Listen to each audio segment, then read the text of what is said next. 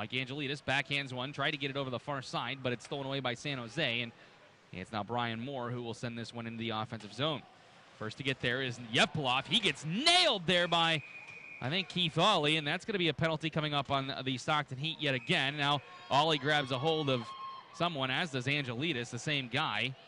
That'll draw a crowd now for both teams, and coming into the play is Yevpalov yet again as he goes after Rasmus Andersson now. Angelidis now pushing and shoving with Moore. Now uh, it involves Mangiapane who comes in. Now Keith Aulie will square up and dance with Nikita Yevpalov as this looks like some frustration boiling over. Keith Aulie just hammering now Yevpalov as Yevpalov's in the full turtle, wants no part of it, Aulie all over him. Now Angelidis comes in to grab another guy as he was going after Rasmus Andersson. Moore separated from Mangiapane. The two of them have words. Keith Aulie looks like he might be heading down the tunnel for the rest of this game.